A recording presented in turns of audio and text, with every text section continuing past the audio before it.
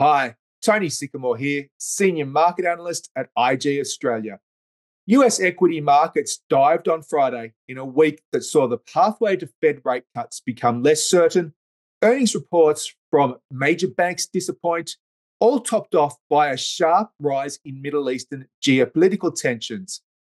Arguably, the effect of the latter will continue to be reversed after an Iranian attack on Israel on Sunday appears sufficient in size to revenge the killing of Iranian military personnel in Syria without being damaging enough to trigger a further escalation at this point. This will leave traders to focus on quarter one 2024 earnings, as well as retail sales data for March and comments from a number of Fed speakers. After last week's third consecutive month of firm CPI data, the rates market has repriced the probability of US interest rates remaining higher for longer. Let's take a look at the chart of the S&P 500 and the Nasdaq to see what impact that has on key US stock markets. Now what we have seen for the S&P over the past fortnight is 2 weeks or two consecutive weeks of decline. In fact, that has been the largest 2-week fall since October 2023.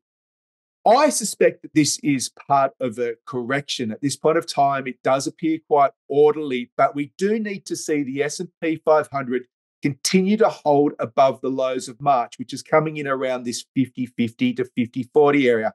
And if that was to occur and you get this rebound taking it above the highs from late March, then you probably can look towards 5400.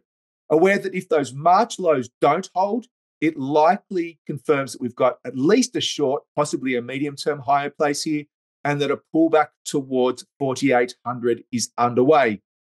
In the NASDAQ, there has been a considerable flattening out of the uptrend over the past eight weeks. At this point of time, it's too early to, for us to be able to say whether it is uh, a flattening out before a significant pullback or just a correction with an uptrend. But what we do know is that there is some very important levels for us to lean upon. And of course, they are these levels we've been speaking about in recent weeks, coming in around 17,750 to 17,700.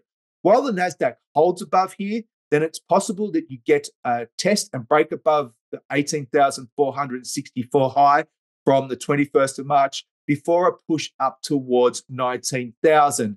If conversely we see a sustained break below this support region here, I think that would confirm a short term, possibly a medium term top is in place, and that we're seeing a deeper pullback initially towards 17,000. Thank you for listening and have a good week ahead.